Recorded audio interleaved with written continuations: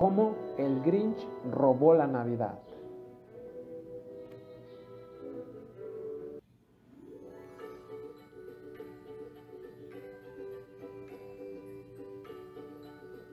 A todos los quien en Villaquien la Navidad les encantaba.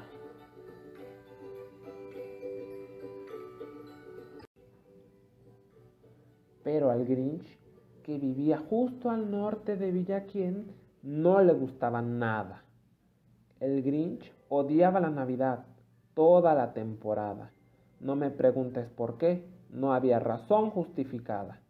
Tal vez tuviera un tornillo mal ajustado, tal vez llevara un zapato demasiado apretado, aunque yo creo que el verdadero motivo es que tenía el corazón dos tallas encogido.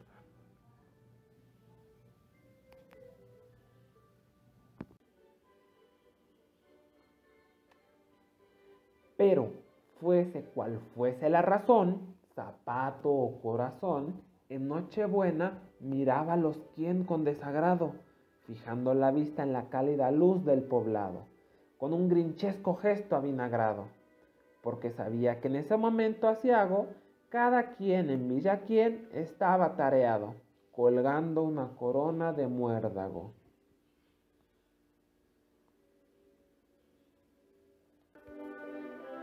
Y estarán colgando los calcetines, gruñó con desprecio. Mañana es Navidad. ¿Es que no hay derecho?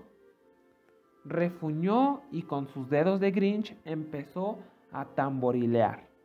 Debo encontrar la manera de evitar que llegue la Navidad.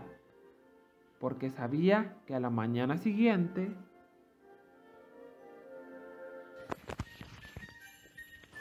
todos los niños y niñas quien se levantarían muy temprano para jugar tutiplén. Y entonces, ¡oh! Ese ruido, ruido, ruido. ¿Cómo lo odiaba? Ruido, ruido, ruido, ruido. Lo desesperaba.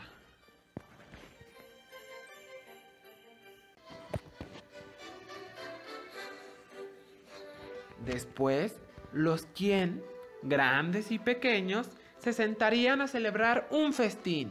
Y celebrarían un festín, celebrarían un festín, celebrarían un festín, festín, festín, festín. Degustarían un pudín quien y un extraordinario asado quien. Y eso era algo que al Grinch no llevaba nada bien.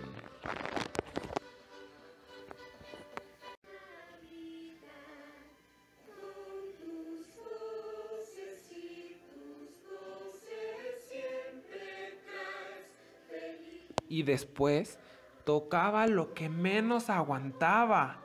Todos los quien en Villaquien, altos y bajos, al son de las campanas, entrelazarían las manos y se pondrían a entonar sus cantos.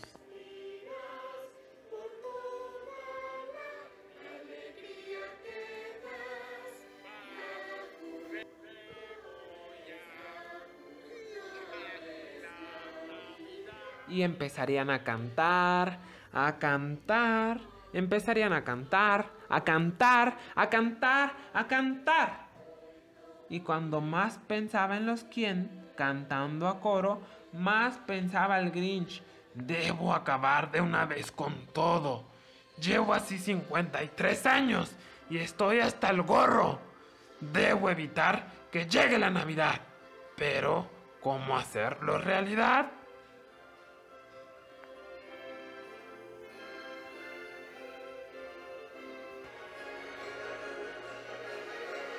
Y entonces se le ocurrió una idea, una idea espantosa.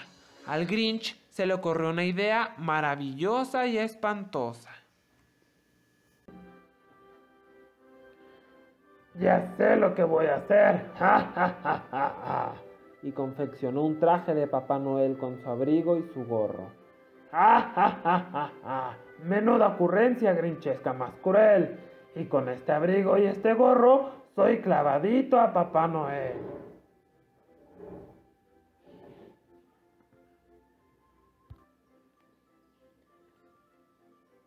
Y ahora solo me falta un reno. El Grinch miró a su alrededor, pero como renos hay pocos, no encontró ninguno. ¿Crees que esto lo detuvo? No. El Grinch dijo entonces muy ufano. Ya que no encuentro ninguno, yo mismo haré uno. Llamó a su perro Max y le atacó con gran destreza, un enorme cuerno bien montado en la cabeza. Después cargó algunas bolsas y algunos sacos ajados en un trineo desvacijado del que tiraba el viejo Max. Entonces el Grinch gritó, ¡Adelante! Y el trineo comenzó en aquel instante, el descenso hacia los hogares de los quien, en donde dormían la mar de bien. Reinaba la oscuridad, la nieve caía suavemente. Todos los quien dormían plácidamente cuando llegó a la primera casita junto a la fuente. Parada número uno, susurró el viejo Grinch Noel, y se encaramó al tejado llevando unos sacos con él. Después se deslizó por la chimenea. Era un paso muy estrecho, pero el Grinch también lo haría si Papá Noel lo había hecho. Se quedó una vez atascado en un suspiro, pero al final logró socar la cabeza por el tiro. Los pequeños calcetines de los quien colgaban en fila de nueve. ¿Estos calcetines? se regocijó. Será lo primero que me lleve.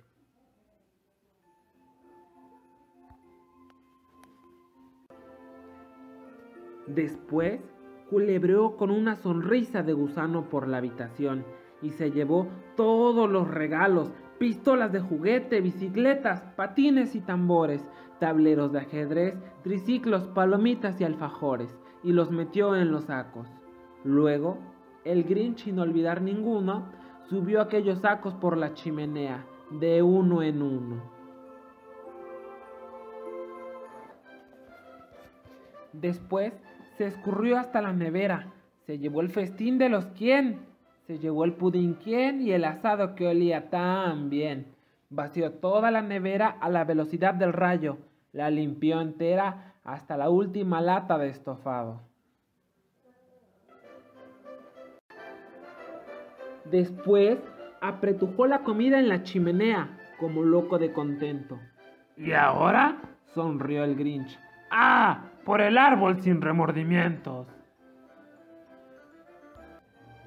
Y el Grinch se puso a empujar el árbol, no es broma, cuando escuchó un sonido débil como el arrullo de una paloma.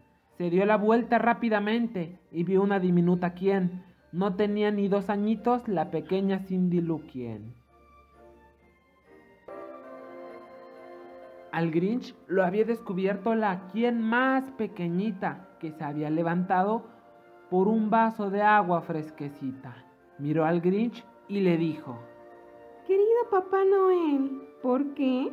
¿Por qué te llevas nuestro árbol de Navidad? ¿Por qué? Pero el viejo Grinch era tan rápido y tan listo que se inventó una mentira visto y no visto. ¿Por qué, mi querida niña?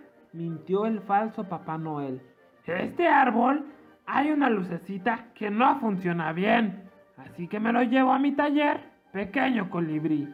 Ahí arreglaré y después lo traeré de vuelta aquí. Y la niña se creyó la mentirijilla. Le dio un vaso de agua, una palmadita en la cabeza y la mandó de vuelta a la cama. Y cuando Cindy Luquien volvió a la cama apaciguada, el Grinch se llevó el árbol sin dejar ninguna rama. Y para rematar la faena, se llevó del hogar hasta la leña. Luego ascendió por la chimenea el viejo farsante, dejando los muros sin más adorno que un alambre colgante. Y en el suelo un pedacito de fiambre que ni a un ratoncito le calmaría el hambre. Después repitió la tarea en todas las casas de la aldea y dejó unos pedacitos demasiado pequeñitos para cualquiera de los ratoncitos. Al amanecer y cuarto, todos los quien seguían en la cama, echando una cabezada. El Grinch cargó su trineo hasta arriba con los regalos. Había lazos, etiquetas, envoltorios, espumillón, cenefas y avalorios. Ojalá ese ruido deleite mis oídos. Sonrió el Grinch con un gruñido. Acercó la mano a la oreja y se quedó escuchando. Oyó un sonido que ascendía por el monte blanco, empezó muy bajito y después fue aumentando. Pero no era un sonido triste, no, era un sonido alegre. ¿Cómo era posible? Era alegre, muy alegre. Bajó los ojos hacia la aldea y se le salieron hacia afuera. No hay quien se lo crea se armó la marimorena.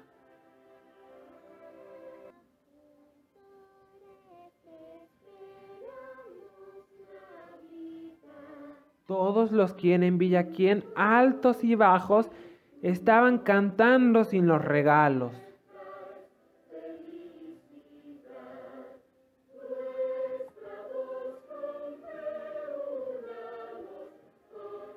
no había evitado que llegara la Navidad. Había llegado, de una u otra manera, se había hecho realidad.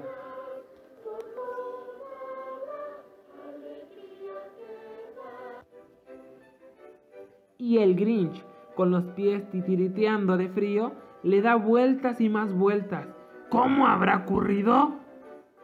Ha llegado sin lazos, sin etiquetas, sin cajas, embalajes ni tarjetas. Y por primera vez el Grinch pensó intrigado. Tal vez la Navidad no sean solo regalos. Tal vez la Navidad tenga otro significado.